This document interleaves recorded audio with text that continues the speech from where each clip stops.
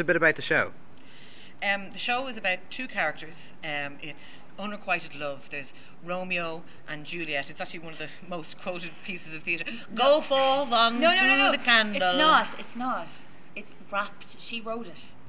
It's on on the second of July in Ballymun Axis. Do, do you remember? You were nominated for an award.